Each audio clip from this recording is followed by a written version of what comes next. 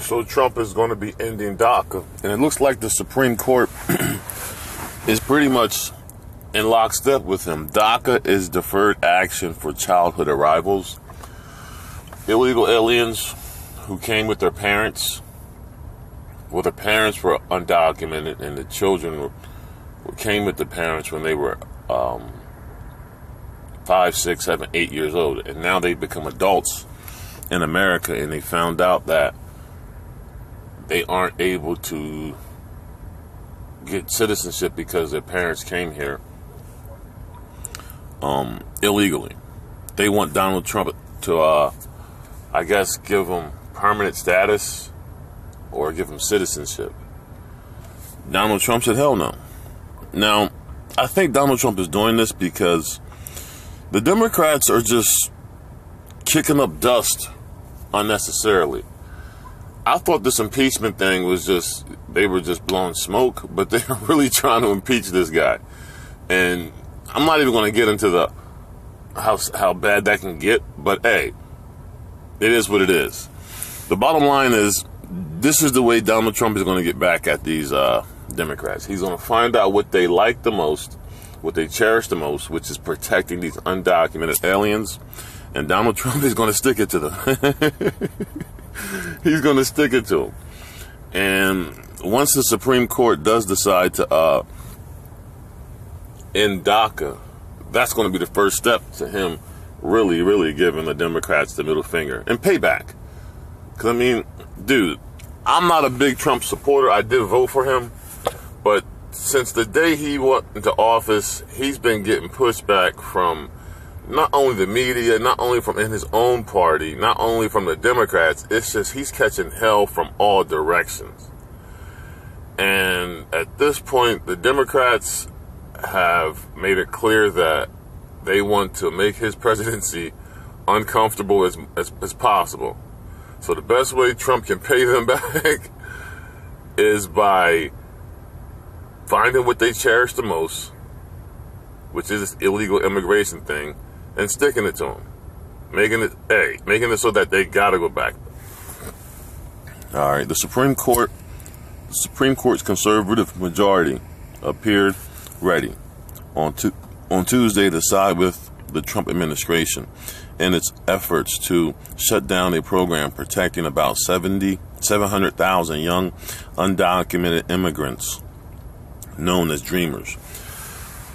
Now, let's let's put this way: the, the Dreamers are, are are separate. Well, they're not separate. When you include the total number of illegal aliens in America, it's about between 12 and 20, uh, 12 and 20 million. Let's say if let's change the tables. If there were 12 million to 20 million undocumented black Africans in this country, do you think these Hispanics would support keeping those black Africans here illegally? No. They will tell you guys, they will tell Africans, those black Africans, to pack their shit and leave. Because the Hispanics know that they do what's in their own best interest. It's not about whether or not you as American black person are being racist or some shit like that. No, you're doing what's in the best interest of you and your family first. You, you can, first off, you can only speak for your interest in your own family's interest as an individual black man. Okay? And then if if the conversation is on a wider scale, I mean, you can just say, hey, listen, first and foremost, I'm concerned with myself and my family. I can't speak for no other black person besides myself. And I know that my interests, my interests basically are not met if I support illegal immigration. That's how I hit it. Because I'm not the kind of guy that's just going to go along to get along. I don't do that kind of shit. The court's liberal justice probed the administration's justification for ending the program, expressing skepticism about its rationales for doing so. But other justices, including President Trump's two appointees, indicated that they would not second guess the administration's reasoning and in any event considered its explanation sufficient. So yeah, Trump already appointed two Supreme Court nominees, all right? And now I, I kind of understand why. Well, I don't understand. I, I uh, connected the dots to why the Democrats are so hell bent on getting Trump impeached or some shit. Like I said, I thought it was just a smokescreen. They were just going through the motions and shit. But then when I saw when I saw the Democrats having these um these congressional meetings and shit, I'm like, these folks are serious. I realized that the Democrats are scared shitless that if Donald Trump can put a third conservative justice on the Supreme Court, the Supreme Court's going to be conservative for the next 100 and some years 50, 60, 70 years. And that is going to uh, get rid of abortion. They're going to get rid of abortion. They're going to get rid of a lot of different things these Democrats hold sacred. So I kind of did put my finger on it.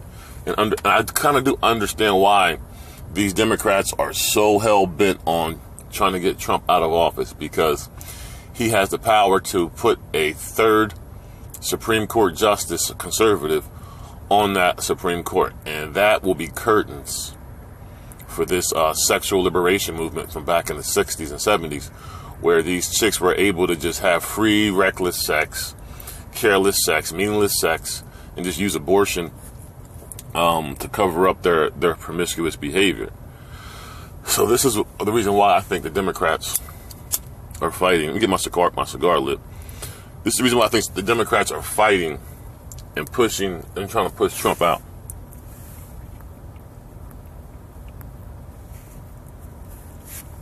Quote, I assume that I assume that was a very I assume that was a very considered decision. Justice Brett M. Conniff, I don't know what his last name said, on a second set of justifications offered by the administration in a memorandum last year after its decision to end the program was challenged. Justice Neil M. Gorsuch said he saw little point in requiring the administration to come forward with better or more elaborate reasons. What what would another five years of litigation over adequacy of that explanation serve? He asked. Let me see. I was thinking about some shit though, man. Let me think. I assume that every considered. All right. It'll come back to me. I'm gonna stop as soon as I think, as soon as I remember that shit. Still, the justice agreed that the young people who signed up for deferred action for children, for childhood arrival, or DACA, were sympathetic and that they and their families, schools, and employers had relied on it in good faith. All right, man. Listen, I'm gonna tell you something. When you when you bring in millions of undocumented, low-skilled uh, workers to America, foreign workers to America, when you already have a low-skilled black um, male population, you're only financially squeezing. And this is why I believe that this has been intentionally done. Because the, the, the Hart-Celler Act in 1965, when they when they allowed, um, when they signed this legislation, the goal was to phase and push black black Americans out of the way. And the government said we rather import millions of foreigners, legal and illegal, and integrate them into this economy than integrate the black Americans who've been here since the 16th and 17th century.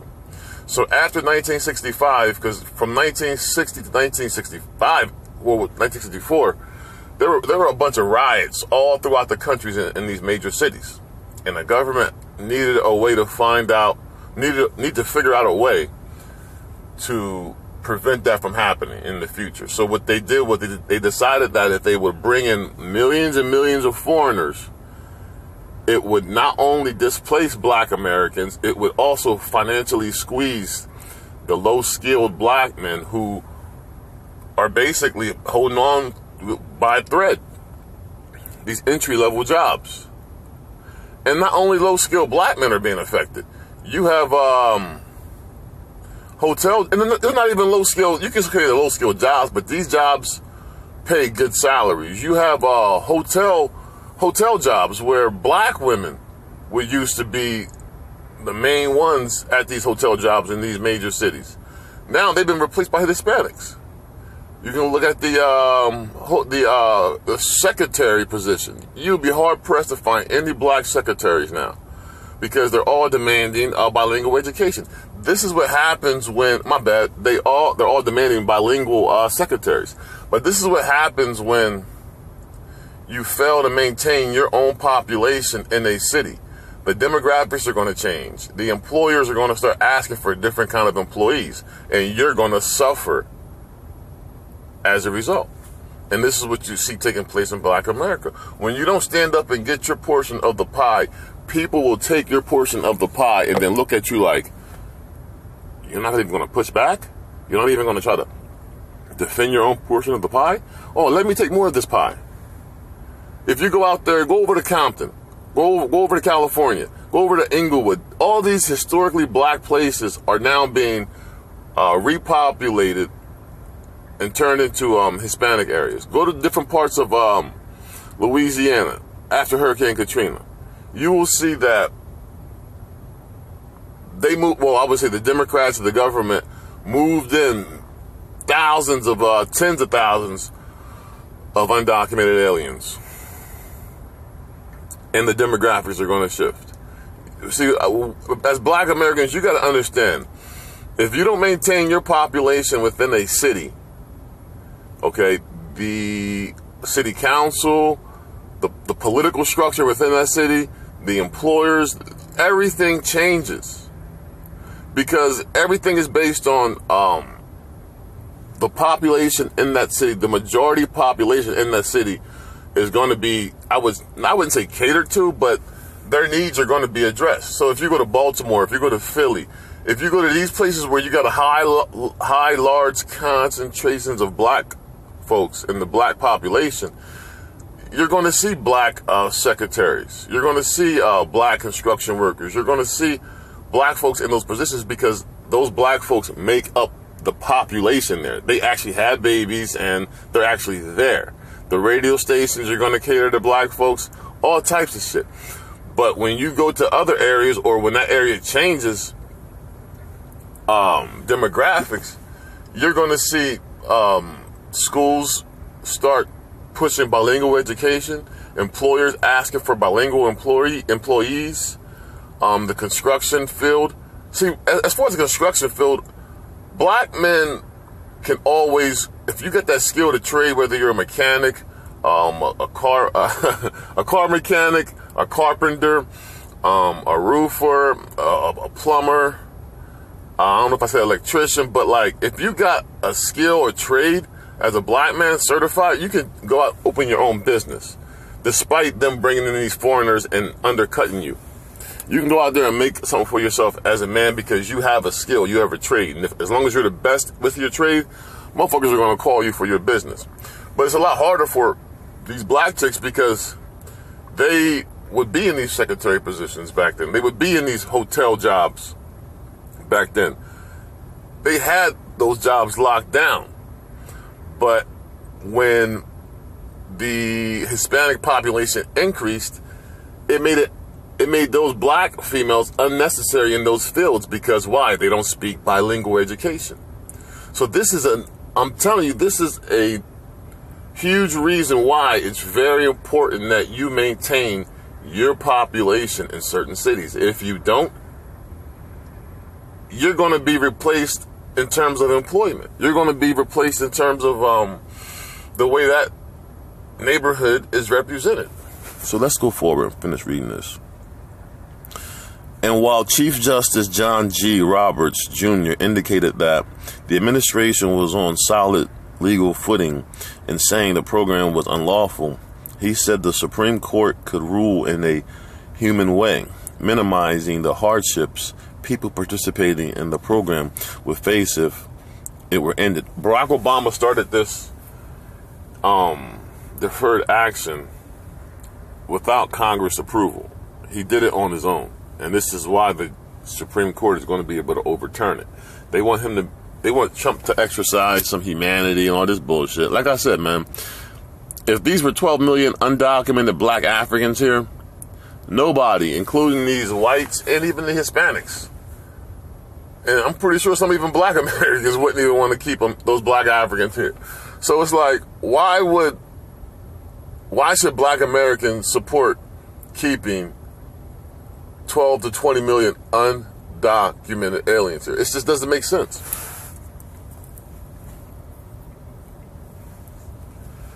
It's not always the case when the government acts illegally in a way that affects other people.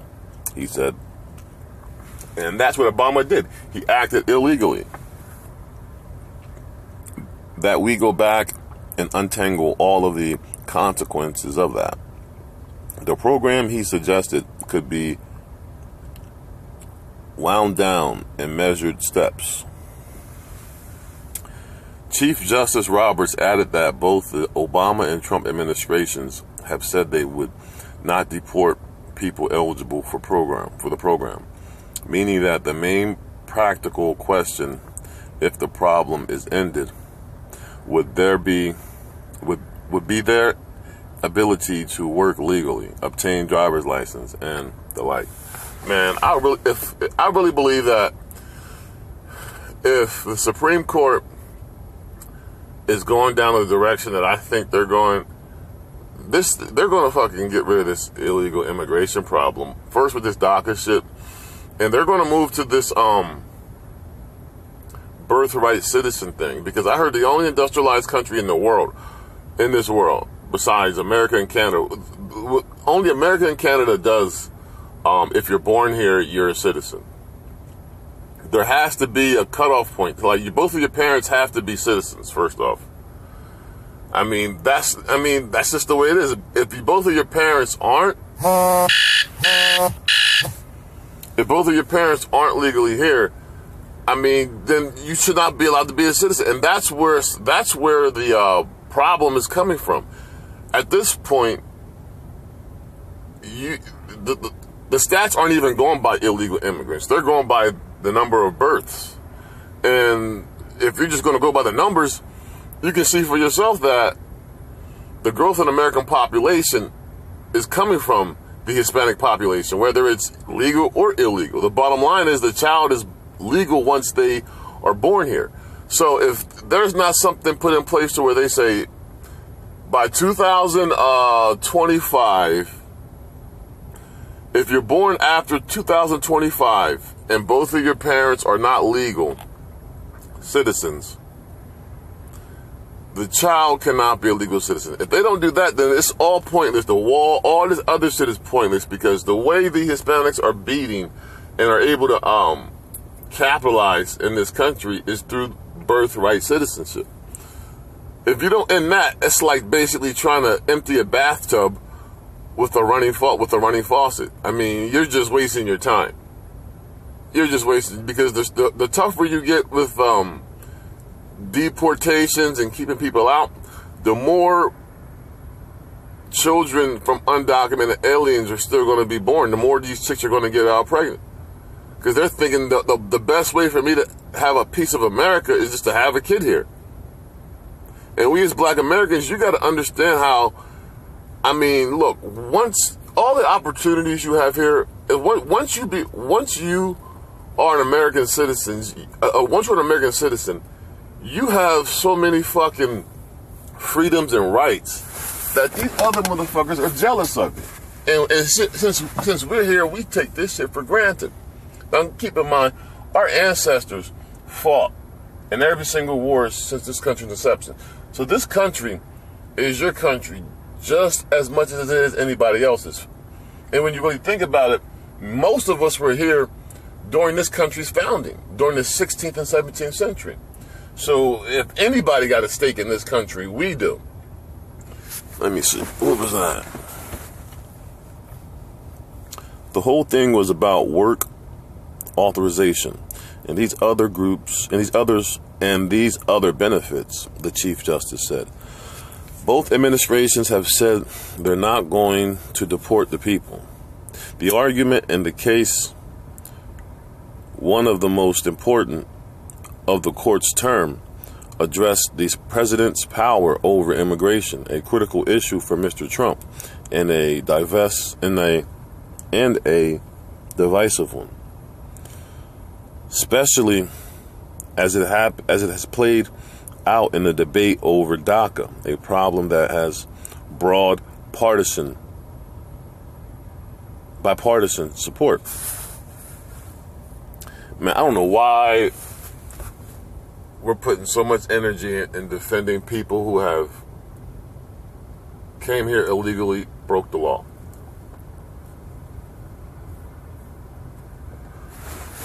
I don't understand.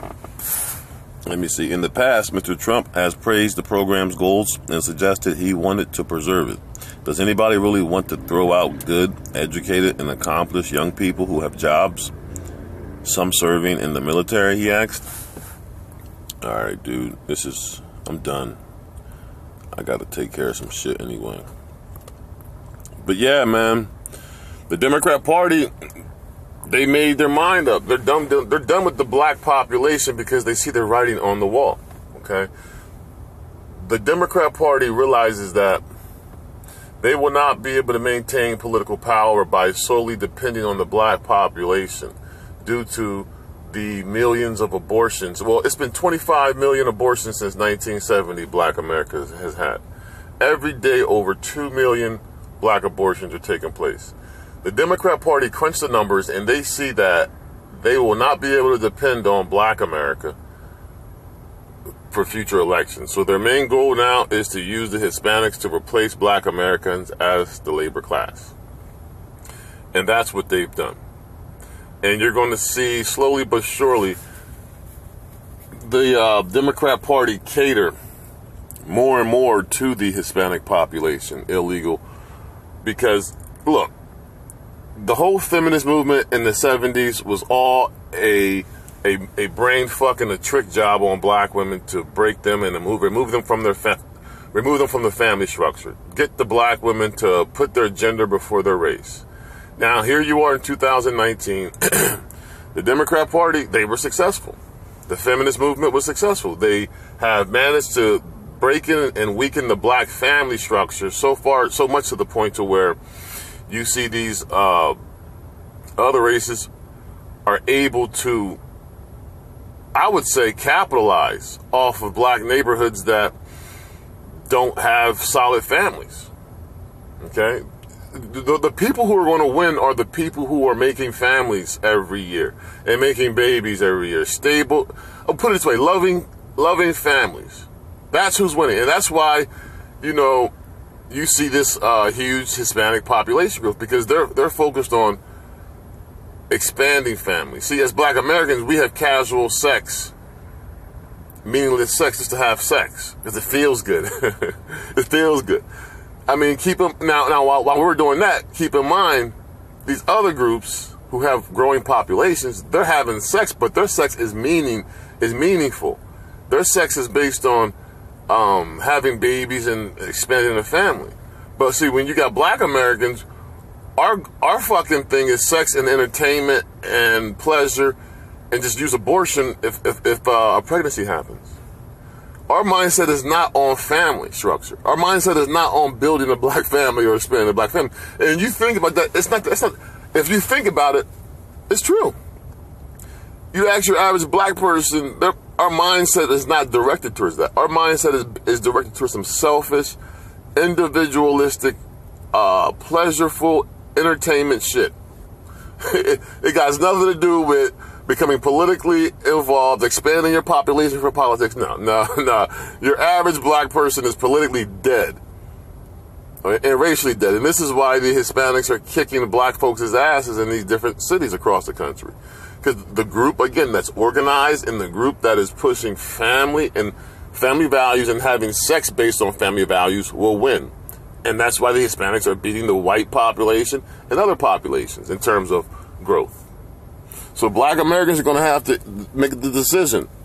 I mean, is, is the family structure going to be number one, or is it going to continue to be this selfish, um, this this selfish push towards, you know, I'm to get everything I can get as an individual. Hey, look, as an individual, yeah, establish yourself first.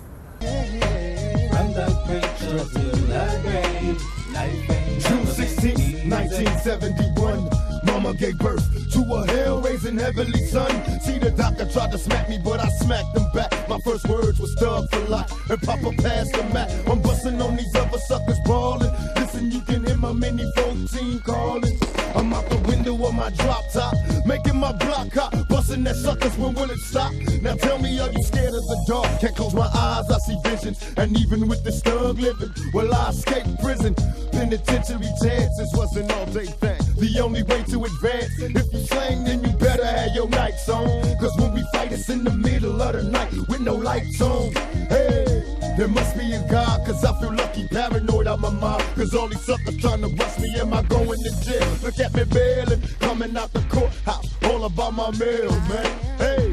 Never die, be a hustler till you busted. Making thugs out you suckers from the cradle to the grave.